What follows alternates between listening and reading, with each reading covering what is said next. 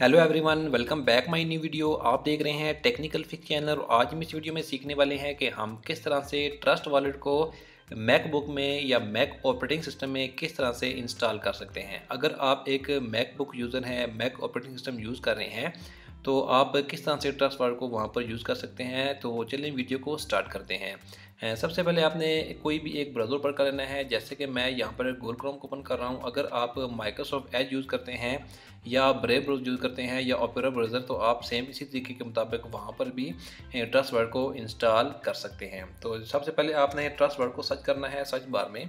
तो यहाँ पर आपके सामने ट्रस्ट वर्ड की official website Trust Word dot com आ जाएगी। आपने इसे ओपन करना है।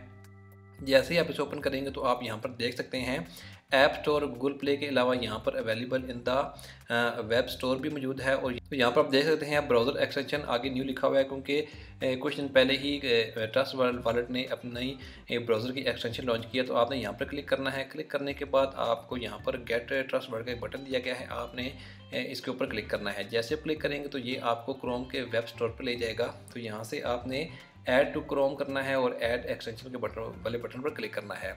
तो जैसे ही इसकी फ़ाइल डाउनलोड होगी डाउन होने के बाद इसकी जो एक्सटेंशन है वो आपके ब्राउज़र में ऐड हो जाएगी। देख देख सकते हैं कि यहाँ पर जो ट्रस्ट वर्ड की एक्सटेंशन है, वो हमारे ब्राउज़र में ऐड हो गई है। आप यहाँ से ट्रस्ट वर्ड को ओपन करें। ओपन करने के बाद आपके सामने ट्रस्ट वर्ड का कुछ फ़र्स्ट इंटरफेस इस तरह से आएगा। यहाँ से आप न्यू वर्ड लेट को क्रिएट कर सकते हैं और यहाँ से इंपोर्ट और रिकवर वॉलेट अगर आपका पहले से वॉलेट मौजूद है तो यहाँ से आप उसके फ्रेज वगैरह एंटर करके तो यहाँ से उस वर्ड को रिकवर कर सकते हैं। हम आज यहाँ पर एक न्यू वर्ड बनाएँगे। प्रूव योर ट्रस्ट वर्ड यहाँ से, यहाँ पर आपको कुछ टिप्स देगा तो आपने यहाँ से नो चेंज करना है और यहाँ पर आपने कोई भी एक स्ट्रॉन्ग सा पासवर्ड देना है, वो पासवर्ड जो आप ट्रस्ट वर्ड को लॉगिन करते वक्त देंगे तो वो पासवर्ड आपने यहाँ पर देना है और इसके बाद आपने प्रोसीड बटन पर क्लिक करना है।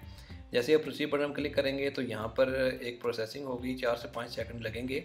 इसके बाद ये कह रहा है कि बैक योर सीक्रेट फ्रेज जो भी फ्रेज होंगे, आपने उनको लाजमी तौर पर कहीं पर सेव करना है, क्योंकि अगर आपका वॉलेट किसी वजह से ख़राब हो जाता है अनइंस्टॉल हो जाता है तो आप अपने फ़ंड्स को रिकवर कर सकें। यहाँ से आपने स्टार्ट बटन पर क्लिक करना है, और इसके बाद आपने गोटेड करना है, इसके बाद प्रोसीड करेंगे तो ये बड़ा क्लियर हो जाएगा। लेकिन इससे पहले आपने ये जो फ्रेज़ हैं, इनको किसी पेपर पर लाजमी तौर पर लिखना है, क्योंकि इसके बगैर आपके फ़ंड्स रिकवर नहीं हो सकेंगे। मैं फ़िलहाल इसे यहाँ पर पेश कर देता हूँ।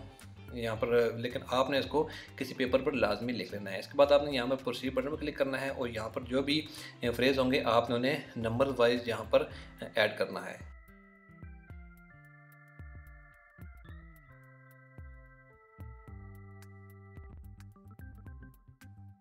जैसे ही आप फ्रेज़ यहाँ पर ऐड करेंगे तो इसके बाद आपने यहाँ से नेस्ट करना है। नेस्ट करेंगे तो यहाँ पर आप देख सकते हैं कि जो आपका वॉलेट था वो क्रिएट हो गया है। आपने यहाँ से ओपन वर्ड पर क्लिक करना है। जैसे ही आप यहाँ से ओपन वर्ड पर क्लिक करेंगे तो आपके सामने जो वॉलेट है, वो मुकम्मल तौर पर क्रिएट होकर आपके सामने आ जाएगा।